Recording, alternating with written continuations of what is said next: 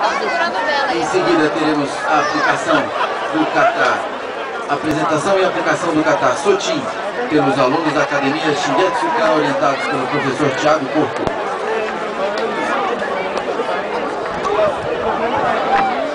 Este é o professor Tiago Porto, coordenador da Academia Shigetsuka.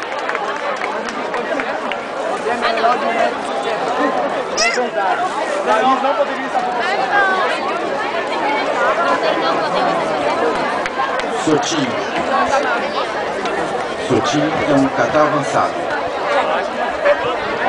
A postura imóvel de grande estabilidade. É tão usada que é geralmente conhecida como Aquela é a outra e a do lado do pé vai a As características do despontam melhor quando ele é executado lentamente, revelando assim uma certa reverência e poder. Eu não cheguei a ver o rosto.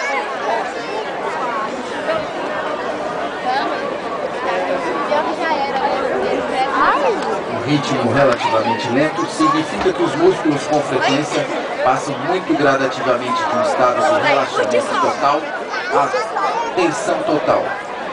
Alguns movimentos, porém, exigem a produção instantânea de força muscular, conhecida como química.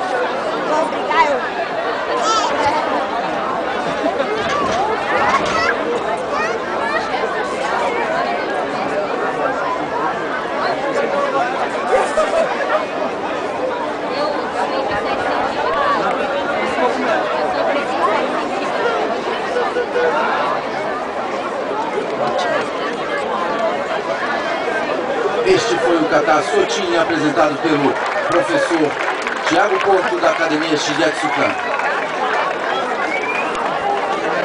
Agora observaremos a demonstração deste kata, a aplicação que tem o nome de Bunkai. Os alunos da Academia Shigetsukan farão a apresentação.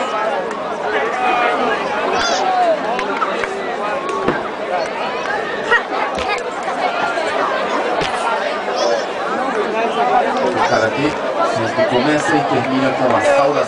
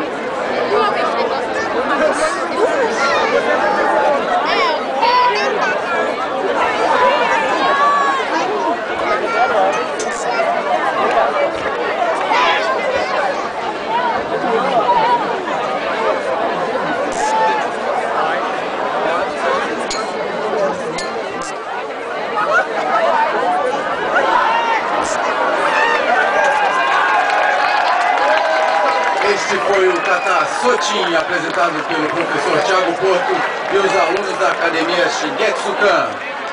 Os aplausos para os alunos da Shigetsukan.